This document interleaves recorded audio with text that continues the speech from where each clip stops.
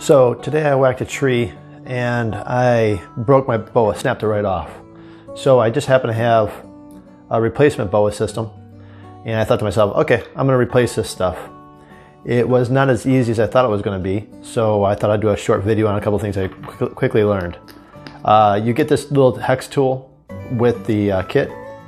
Once you remove that, the whole thing pops off. The boa kit comes out. This is the wire that goes in there. You're gonna need to cut that out.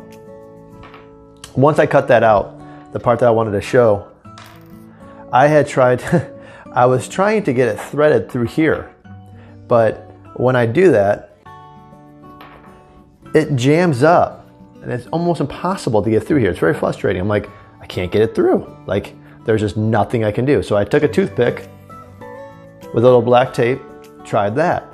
The toothpick would go through, but it was, it was such a narrow area, I can't get the the wire to go through. Well, I was lucky enough to have this little plunger system here. It's a dull tipped needle. And what I can do is I just, I get this thing on the thread. It holds in just enough. You can use it with a normal needle too, just like so. And try to catch it in there. Try to move it closer to you So like that. I'm gonna pull it back a little bit so it's a little, a little tight. Now when I come through here, now watch it now work. Now let's see what I get through here.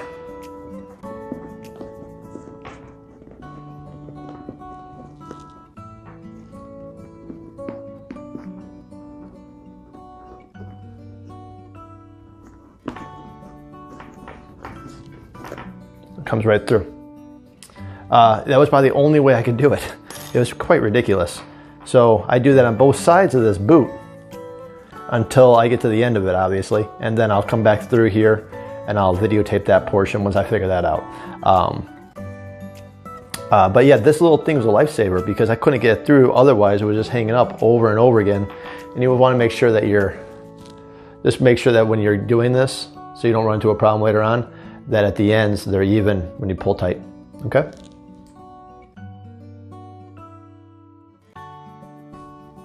Okay, a couple things I learned uh, with doing this.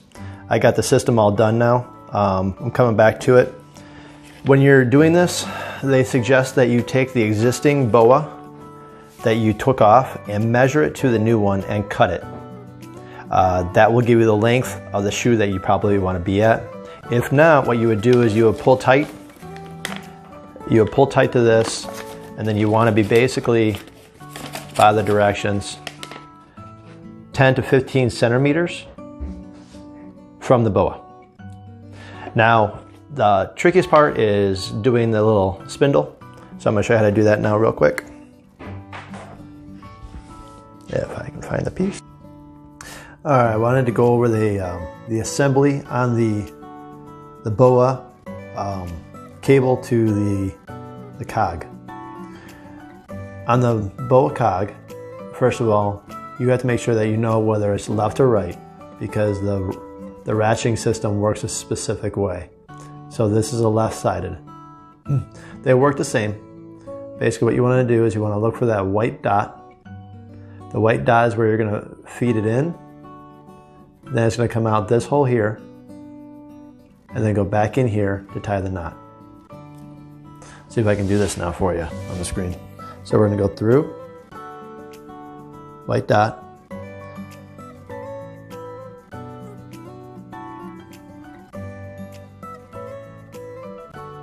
Come back to that second hole.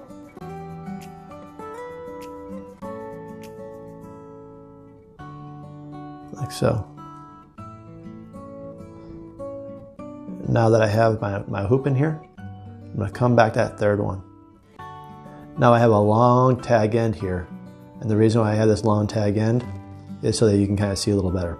All right, so now the trick is here is when I bring this through, I gotta come up over that hoop and then back through it. So I gotta go over, use this to tie I have to go over this one and then come under this one in order for the, the line to line up here.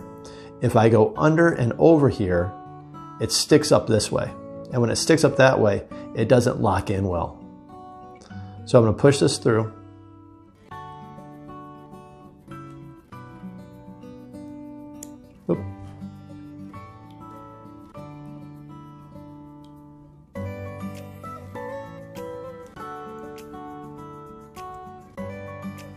Probably the hardest part.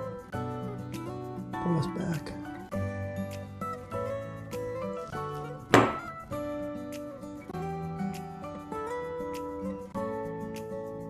Okay, now that I got a little bit more here, I'm gonna push this back in here.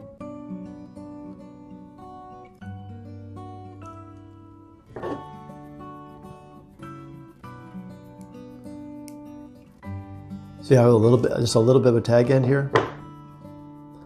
Now what I'm gonna do is I'm gonna start feeding this thing through so it can cinch down.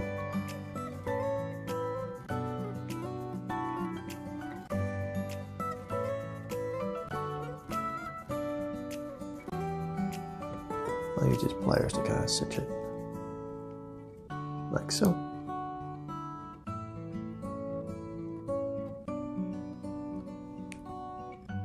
And that kind of locks in. You, you heard that little snap.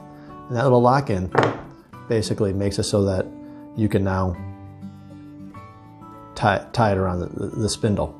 All right, so you would do the same thing with the other side.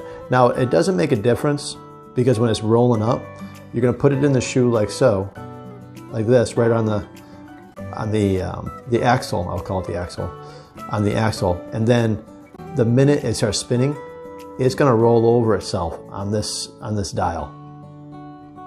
So it's the exact same thing on the other side. Let's see if I can show you.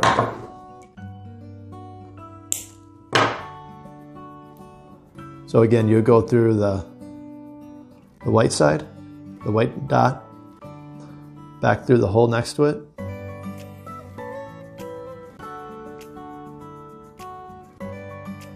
Back through that next hole.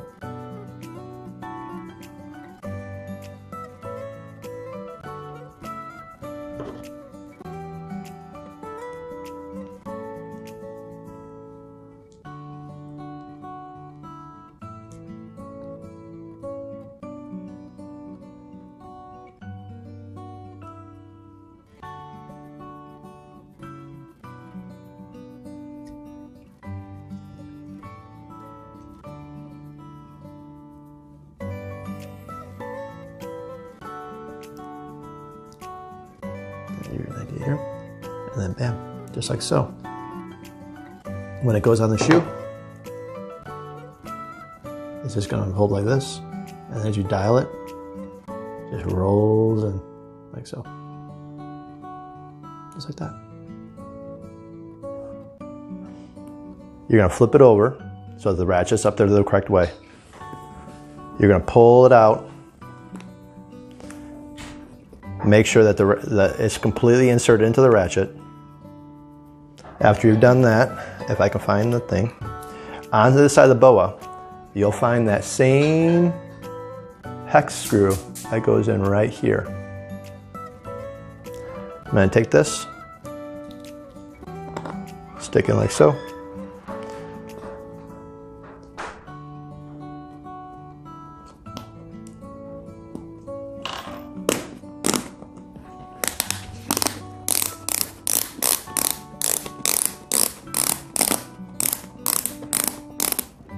And now you have a good locking boa, just like that. Um, if this ever gets bashed, like this is what happened to mine, it tore off the top of it, you will have to replace the entire system. You cannot use this piece, I found out. You gotta have this upper mesh, this upper part in order for it to work properly.